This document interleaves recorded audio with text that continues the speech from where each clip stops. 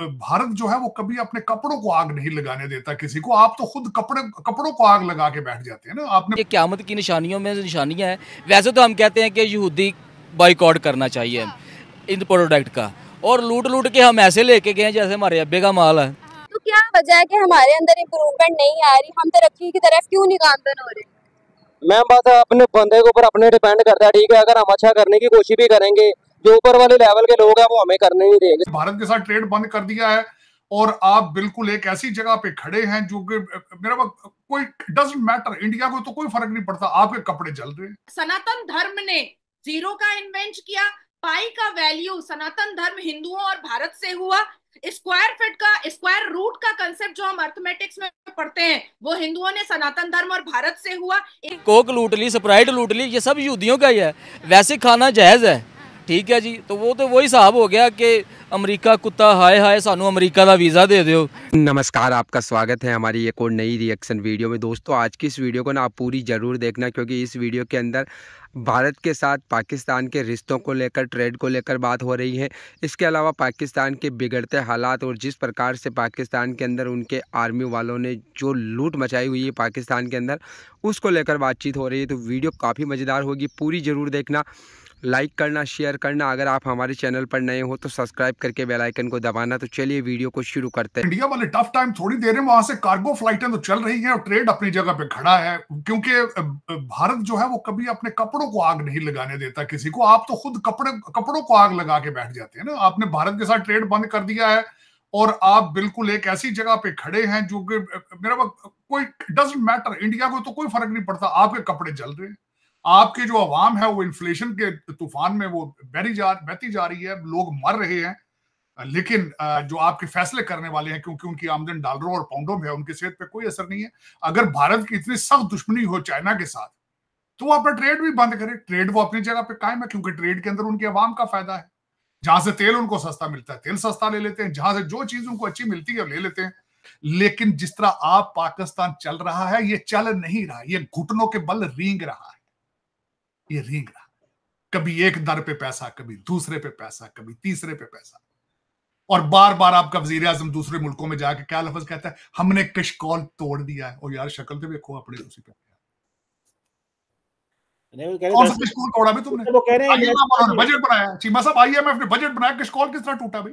Doctor वो कह रहे हैं इन्वेस्टमेंट हम चाहते हैं। अब हम पैसे मांगने नहीं आए हम चाहते हैं इन्वेस्टमेंट लेड ग्रोथ के ज़रिए हो। डॉक्टर उसका मतलब ये है। नहीं गलत अल्फाज इस्तेमाल की कहते हम इन्वेस्टमेंट नहीं चाहते, आके पीआईए खरीदो, आप बलोचिस्तान खरीदो, आप पंजाब खरीद लो, आप हमारे खेत खरीद लो एग्रीकल्चर करो। ये क्यों नहीं कहता कि हम आर्चेज फॉर सेल लगा के बैठे इन्वेस्टमेंट किस चीज़ की?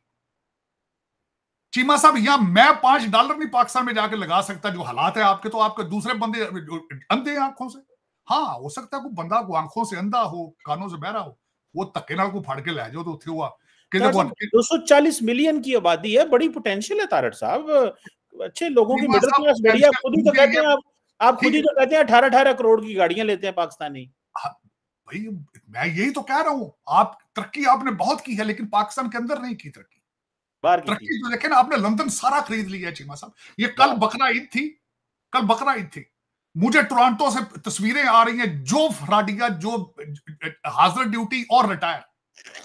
ਮੁੱਛਾਂ ਨੂੰ ਵੱਟ ਦੇ ਕੇ ਬੈਠਾ ਟੋਰਾਂਟੋ ਅਲਫ ਦੇ ਕੱਪੜੇ ਪਾਏ ਨੇ ਧੋਬੀ ਦੇ ਤੋਤੇ ਦੇ ਅੰਜ ਬੈਠੇ आकड़ के आकड़ बैठे और हर एक के मुंह पे लिखा हुआ था लख दी लानत हराम दा माल तक हर एक के मुंह पे लिखा चीमा साहब इस तरह भी कभी कौमें ठीक हुई तरक्की बहुत की आपने आप मैं आफरीन है आपने पैसे जुए में नहीं आ रहे आपने प्रॉपर्टी में लगाए हैं आपके बच्चे अब उड़ाएंगे पैसे वो जुए में ये जो भागे हैं ना वहाँ से जो लंदन से लेकर भागे हैं औलाद को हराम का पैसा खिलाते हैं दुबई में तुमने तो भी वाकई प्रॉपर्टी में फंसाया पैसा। हाँ वो बेच के जुए में उड़ाएँगी तुम्हारी औलादे।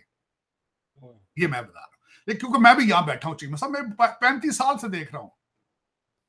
किसी मशीन के अंदर आप ऊपर से पत्थर डालें तो नीचे से बजरी निकलेगी नीचे से आटा नहीं निकलेगा।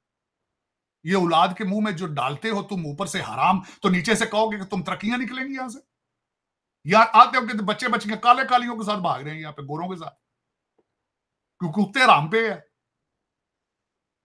चीमा साहब मुझे मे, मेरा एक मैं मैं मानता मैं इतना मजहबी आदमी नहीं मैं मजहबी आदमी नहीं लेकिन मुझे ये एक बता दें आप बात।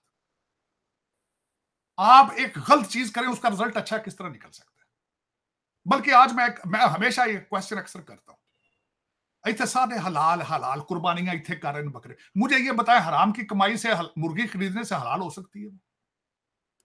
किस तरह हो सकती है ले यही समझ नहीं इनको लोगों ने बस मैंने एक से पूछा एक फराडिया से पूछा बहुत बड़ा सियासतदान टाइप था मैं क्या भाईजान बड़ा जुलम किया ਤੁਸੀਂ ਉਡਾ ਕੇ ਰੱਖਤੇ ਛਿਲਦਾ ਪਾਕਿਸਤਾਨ ਉਹਨੇ ਕਹਿੰਦਾ ਨਹੀਂ ਭਾਈਜਾਨ ਬੈਂਕਾਂ ਦਾ ਪੈਸਾ ਤੇ ਗਵਰਨਮੈਂਟ ਦਾ ਪੈਸਾ ਕਹਿੰਦਾ ਕਿਹੜਾ ਅਸੀਂ ਬੰਦਿਆਂ ਦਾ ਮਾਰਿਆ ਕਹਿੰਦਾ ਇੱਥੇ ਸਾਰੇ ਮਾਰ ਰਹੇ और गवर्नमेंट का और बैंकों के पैसे के ऊपर आप वो समझते हक क्या ये हलाल है इसको लूटना रेलवे की जमीन के ऊपर कब्जा करना हर सियासतदान समझता है ये जायज है मैं कौन सा किसी का किसी का दिल तोड़ रहा हूं चीमा साहब मैं छोड़े इस बात को गंडासे वाले बंदे की गल सुन लो। मैं आज इस, इस पे सबसे पहले तो इसके बारे में पढ़ने से पहले सोच रहा था। ये कहता है जी आज इसने चैलेंज किया फेडरल गवर्नमेंट को उसने कहा बिजली बंद की आवाम सड़कों पर निकल आई। अच्छा जी। चीमा साहब आपको बताने लगा सबसे ज़्यादा बिजली चोरी हो रही है बलोचिस्तान में दूसरे नंबर पर सिंध पे हो रही है। और तीसरे नंबर पे सूबा सरहद है और चौथे पे आ, आ, आपका पंजाब है। और आपको सबसे बड़ी बात यह है कि बन्नू डिस्ट्रिक्ट के अंदर 99 परसेंट बिजली चोरी हो रही है। और मौसूफ जिस डिस्ट्रिक्ट से खुद है, गंडापुर साहब, वहाँ सिक्सटी परसेंट बिजली चोरी हो रही जिस मुल्क के अंदर लोग बिजली चोरी करके कहें कि फिर हमें बिल ना आए तो फिर लोड शेडिंग क्यों हो रही है? वो तरक्की कर सकता है। ये चाइना दजेंसियाँ जड़िया ने, अमरीका दजेंसियाँ अन्या हो गई इंटेलीजेंस एजेंसियाँ तुम समझ दो बेवकूफ़ लगे हो बनाने यार। तुम लुट के खा जाओगे। पता नहीं किस तरह के तो अफसरान ने लोग ऐसे ब्रिटिश एजेंट ने बिल्कुल ही पागल हो गए जहनी तौर पर।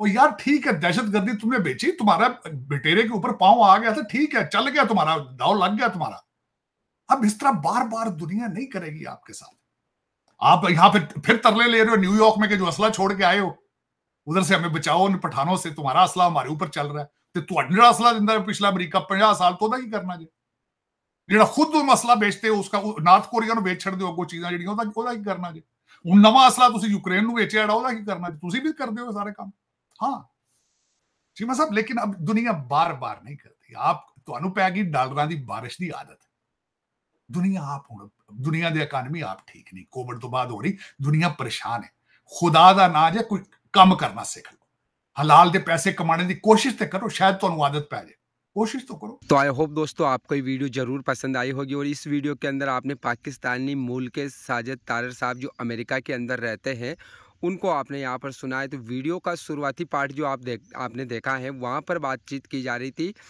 भारत के साथ ट्रेड और चाइना और भारत के ट्रेड को लेकर।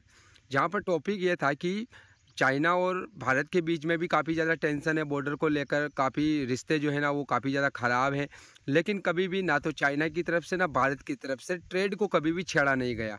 क्योंकि इससे आवाम का फ़ायदा होता है। जो भी इश्यू हैं, जो कुछ भी हैं, वो आपसी बातचीत से हल किए जाते हैं। लेकिन पाकिस्तान ने यहाँ पर बिल्कुल उल्टा किया। उन्होंने भारत के साथ अपनी ट्रेड बंद कर दी और उसका नतीजा आज पाकिस्तान भुगत रहा है। इसके अलावा जो बाकी की वीडियो के अंदर आपने जो चर्चा सुनी है, वो हो रही है पाकिस्तान के हालात को लेकर कि किस प्रकार के हालात पाकिस्तान के अंदर यहाँ पर हो चुके हैं। और अब भी पाकिस्तान की सरकार जो है ना, वो कहती फिरती हैं कि अब पाकिस्तान जो है ना, आईएमएफ के पास नहीं जाएगा, भीख नहीं मांगेगा, जबकि अभी हाल ही में जो पाकिस्तान का बजट आया, वो खुद आईएमएफ ने बनाया।